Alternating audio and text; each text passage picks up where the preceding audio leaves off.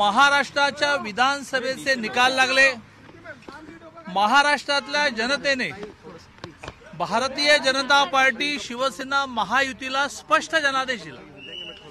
एकशे चव्वेचाळीस जागा लागतात सरकार बनवायला त्याच्याऐवजी एकशे एकसष्ट मिळाले. परंतु ह्या जनादेशाचा शिवसेनेने अपमान केला. आणि पहिल्या दिवसापासूनच अडीच वर्ष अडीच वर्ष नावाचा विषय सुरू केला. एकदाही बसून काय करायचं अडीच वर्षाचं अशी चर्चा झाली नाही.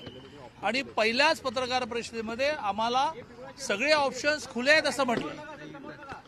त्यानंतर सातत्याने शिवसेना ही काँग्रेस राष्ट्रवादीच्या नेत्यांना भेटत राहिली. पण भारतीय जनता पार्टीला भेटायला त्यांना वेळ नव्हता.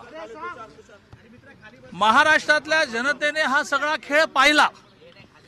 शेवटी भारतीय जनता पार्टीने शिवसेना बरोबर नसल्यामुळे सरकार स्थापन करण्याची असमर्थता व्यक्त केली.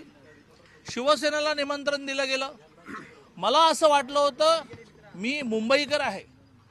शिवसेनेचे एकूण मुंबई मराठी हिंदुत्व या विषयातलं योगदान बाळासाहेब ठाकरेंचं योगदान मला माहिती आहे.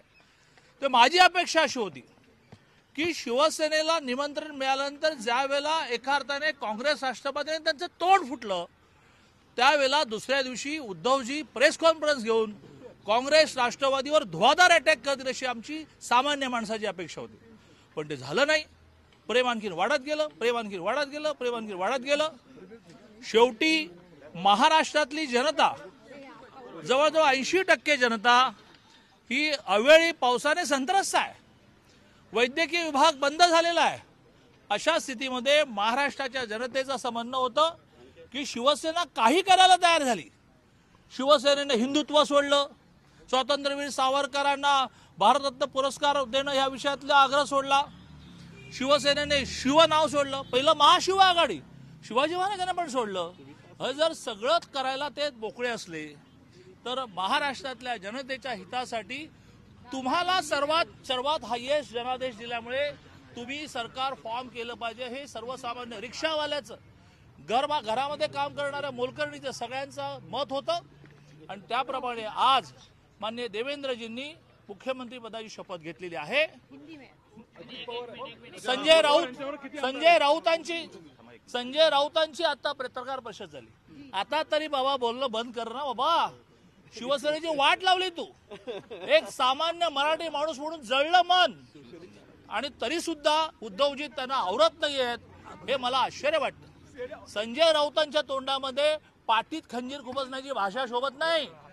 पाटीत खंजीर खुपसला तुम्ही. एकदाही चर्चेला बसायचं नाही. From the day one from the very same second आपली दिशा स्पष्ट करायची. शरद पवारांशी बोलणं करायचं काँग्रेसशी बोलणं करायचं. अरे आम्ही मातोश्रीची गरिमा राखली. प्रत्येक वेळेला आमचे नेते मातोश्रीवर गेले. पण उद्धवजींना सिल्वर ओकमध्ये जावं लागलं. एक वेळ सिल्वर ओक हो ठीक आहे शरद पवारांचं निवासस्थान आहे. हॉटेलमध्ये जावं लागलं भेटायला.